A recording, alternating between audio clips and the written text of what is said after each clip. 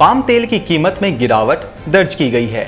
यह गिरावट इस अंदेशे के चलते आई है कि खाद्य तेल के निर्यात पर इंडोनेशिया का अचानक प्रतिबंध लगाना आशंका के अनुरूप सख्त नहीं होगा। इंडोनेशिया पाम तेल का टॉप प्रोड्यूसर है। इंडोनेशिया केवल थोक और पैकेज्ड आरबीडी पामोलिन के निर्यात को रोकेगा, जो एक उच्च मूल्य वाला उत्पाद है और जिसे प्रोसेस्ड किया जाता है। मामले से परिचित लोगों के अनुसार कच्चे पाम तेल और आरबीडी पाम तेल के निर्यात की अभी भी अनुमति रहेगी। इंडोनेशिया के कुल पाम तेल निर्यात में आरबीडी पामोलिन का हिस्सा 30 फ़ीसदी से 40 फ़ीसदी है। इंडोनेशिया ने शुक्रवार को कहा था कि खाना पकाने के सभी तेलों के निर्यात पर 28 अप्रैल से प्रतिबंध शुरू होगा और तब तक चलेगा, जब तक कि सरकार घरेलू कमी को हल नहीं कर लेती। इसके बाद वायदा कारोबार में पाम तेल का भाव चढ़ गया था।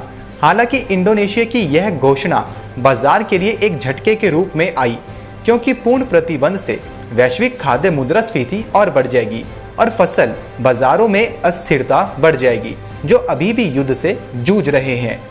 जुलाई डिलीवरी के लिए पाम तेल की कीमत कुआलालंपुर में शुरुआती कारोबार में सात फ़ीसदी उछली, लेकिन फिर यह चार दशमलव एक फ़ीसदी की गिरावट के साथ छः हज़ार सत्तानवे रिंगिट, यानी कि करीब तेरह सौ निन्यानवे डॉलर प्रति टन पर आ गई।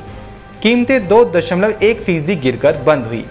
पाम का निकटतम प्रतिद्वंदी सोयाबीन तेल शिकागो में सर्वकालिक उच्च स्तर से नीचे आ गया। ऑयल पाम ट्री के फलों को कुचल कर कच्चा पाम ऑयल बनाया जाता है।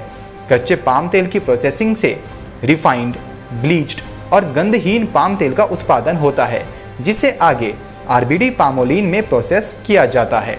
आरबीडी पामोलिन का उपयोग मुख्य रूप से खाना पकाने के तेल के रूप में और प्रोसेस्ड खाद्य पदार्थों की इंडस्ट्रियल फ्राइंग में किया जाता है। खाद्य तेलों की स्थानीय कमी ने इंडोनेशिया को झकझोर दिया है, जिसके कारण खाद्य पदार्थों की कीमतें काफ़ी ऊँची हो गई हैं। इसके विरोध में लोग सड़कों पर उतर आए हैं। साथ ही भ्रष्टाचार के एक मामले में एक व्यापार अधिकारी को हिरासत में भी लिया गया है। खाद्य कीमतों का प्रबंधन राष्ट्रपति जोको विडोडो के लिए एक प्रमुख प्राथमिकता है कुछ ही दिन पहले, उद्योग मंत्रालय ने कहा था कि घरेलू खाना पकाने के तेल के उसके वितरण ने राष्ट्रीय मांग को पूरा किया है, जिससे निर्यात प्रतिबंध और भी अप्रत्याशित हो गया है। Bureau report, Market Times, TV.